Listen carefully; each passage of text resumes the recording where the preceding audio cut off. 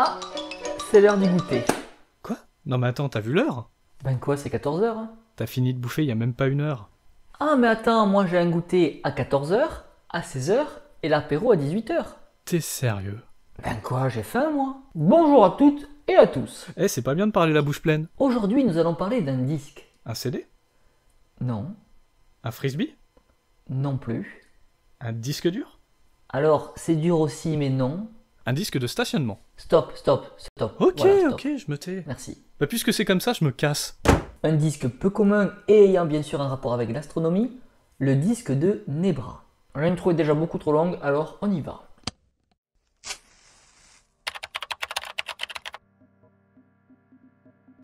En juillet 1999, deux chercheurs de trésors, armés de détecteurs de métaux, se promènent dans une forêt située au sommet du Mittelberg, une colline proche de la ville de Nebra.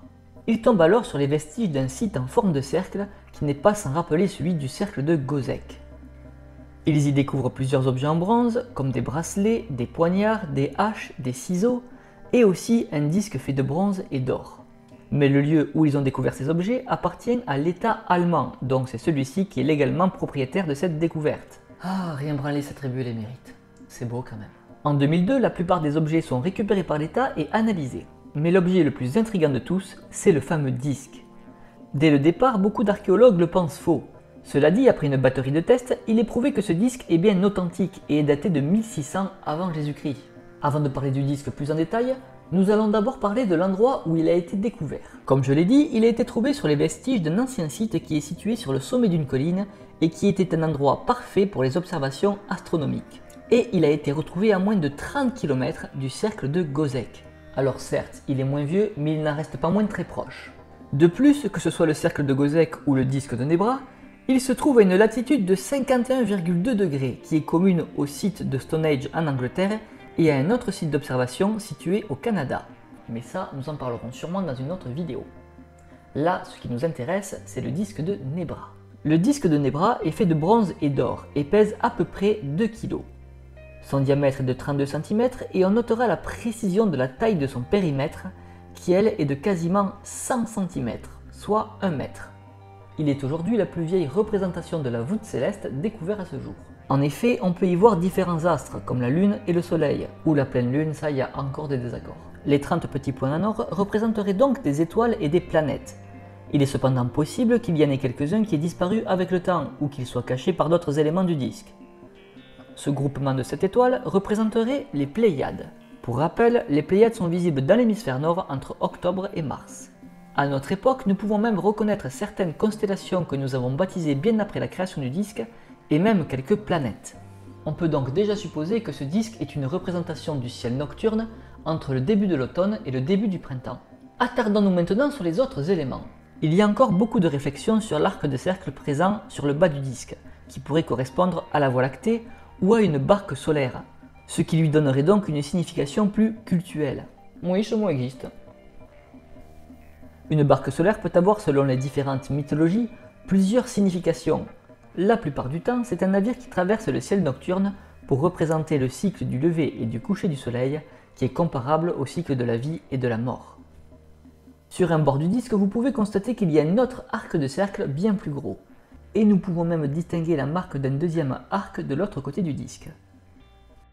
Ces deux arcs représenteraient deux points importants d'une année, le solstice d'été et le solstice d'hiver. De plus, au solstice d'été à Nebra, le soleil se couche derrière le Brocken, le plus haut sommet de la région. Ce fait non négligeable permet d'imaginer une orientation possible du disque lors de son utilisation. Alors nous pourrions penser que tout cela est un peu décoratif et que c'est un peu placé au pif. Pas du tout, c'est fait avec une précision assez surprenante. Si l'on trace des lignes pour relier les extrémités opposées de chaque arc, on obtient au croisement de ceux-ci le centre du disque. Mais ce croisement est aussi l'intersection entre les cercles formés par la barque solaire et le croissant de lune. Ah, moi on me parle de croissant, hein. ça me donne faim. Franchement, je pense qu'on peut déjà dire que ce disque est impressionnant au niveau de la précision de sa conception. Nous allons maintenant parler des petits trous présents au bord du disque. Au début, beaucoup pensaient qu'il s'agissait de trous pour simplement fixer le disque au sol. Mais fait assez étonnant, il y a 39 trous. Pourquoi 39 Faire un nombre impair de trous autour d'un cercle, c'est pas ce qu'il y a de plus facile. Je vous invite à essayer de couper la prochaine tarte que vous allez manger en 11 par exemple. Je vous souhaite bien du courage.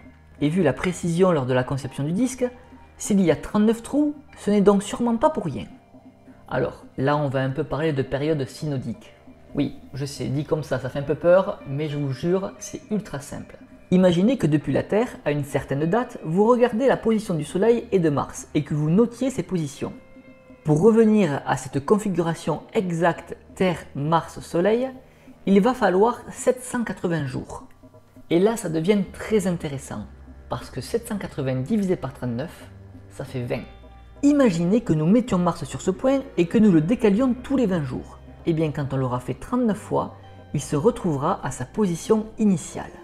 Et on peut faire la même chose avec le Soleil, mais avec les points présents sur les arcs solsticiaux.